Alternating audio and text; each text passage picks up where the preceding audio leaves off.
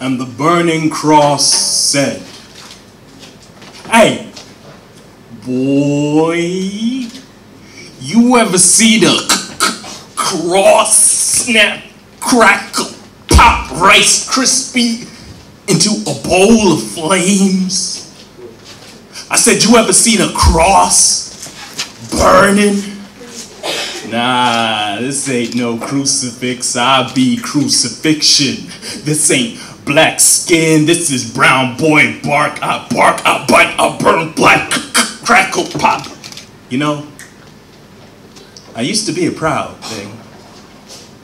When I was constructed, I thought they were gonna put me up in some church like my mama and my daddy. See, my pops was a pine and my mama was a redwood, and they uh, crossed paths at Mount Joy Baptist Church in Jefferson County, Alabama. And um, they used to tell me that my great great great great granddaddy was an old rugged cross who uh, lived on Calvary.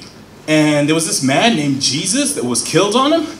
And ever since then, people have been looking to my folks as a sign of salvation, which brings us here to the front yard of Reverend Robert Hughes, July 1959, you know, I didn't want to be burned like this. They told me the Reverend was a good man with good intentions. I thought they would hang me up in his church, but the white men in white hoods who constructed me, they don't hang crosses, no. They hang the bodies of poor colored folks on my cousins, my cousin trees who wish their limbs weren't so strong, wish their limbs would just snap under the weight of unwanted passengers instead of being crooked caskets carrying them closer to God. We don't call my cousin trees we don't call my cousin trees killers, no, we call them cursed couriers, forced to bear the burden of strange fruit, forced to beckon forth unwanted burials. You know, sometimes I think it better to be burned. I just die up here, slowly.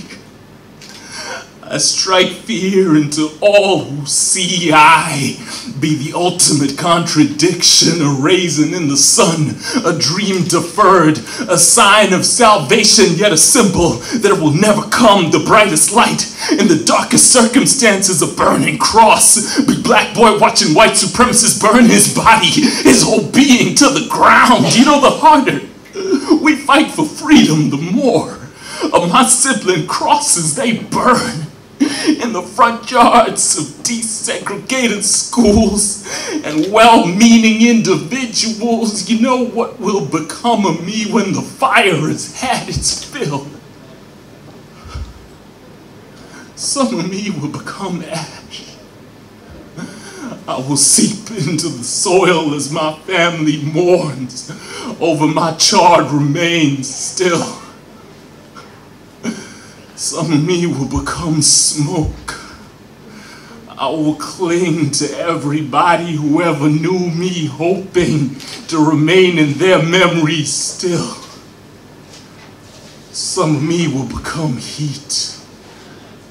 And like heat, I will rise I will rise like that man they said they killed on my great great great granddaddy. You know, they say after three days he rose from the dead.